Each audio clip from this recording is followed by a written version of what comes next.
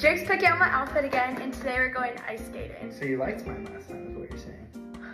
No, the people just want it. You called me back. I know. Okay, so we have to do something more chic. I don't even know what's. No dresses, right? No, thank you.